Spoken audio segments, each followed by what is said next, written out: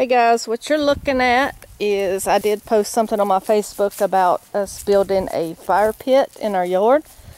We do a lot of grilling over the spring and summer and even sometimes in the fall we'll come out here and sit and enjoy the weather. So my husband and Andrew did this today. They dug out boulders from the uh, from the woods and they used uh, cement mix to put it all together. And he's going to put a bar across the top here across the a grate across the top and it's going to hold like a Dutch oven uh, where we can cook like a, bean, a big pot of beans or stew or whatever. And steaks he says. And he built me a little log table. Isn't that cute or a bench. You can use it either way, but we're always needing a table. And that's the mastermind right there. So, but uh, anyway, we have access to lots of boulders like this in our on our land.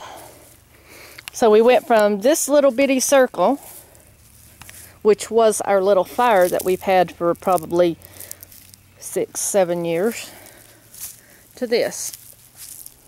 And then we have separate here, he built a little teepee of wood.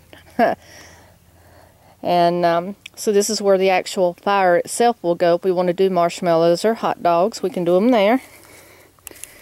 And then you'll be able to just cook directly on that rock and uh, above it. So he built us a homemade fire pit.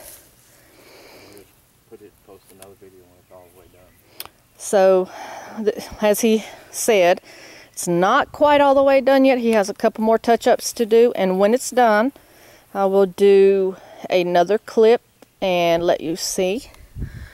So that's the whole setup so far.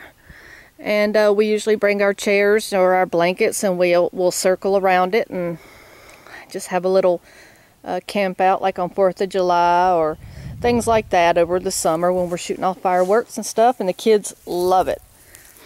They bring their friends and we have water balloon fights and sit up all night by the campfire. So it's really cool.